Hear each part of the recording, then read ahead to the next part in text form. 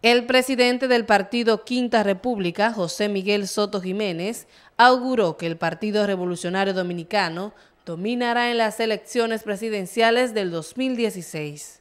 No, yo pienso que el PRD, lo que he dicho siempre, yo pienso que si la política es una ciencia, el PRD va al poder en el 2016.